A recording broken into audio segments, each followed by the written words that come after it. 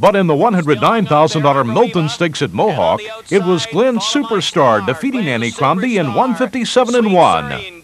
Glenn's Super Star was a superstar in the filly and mare ranks at the Meadowlands.